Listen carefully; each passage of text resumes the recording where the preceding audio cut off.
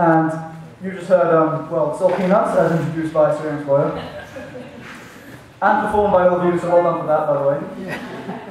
And that was, after that we heard a ballad called When the Sun Comes Down. Thank you to my audience participation in that one as well. And the next few ones,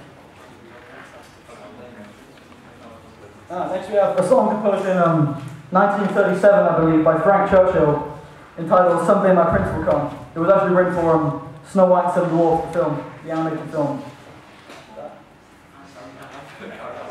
After that we got Caravan, which some of you may have heard from the movie Whiplash, but this is a slightly different version. We don't have a big but we'll make do.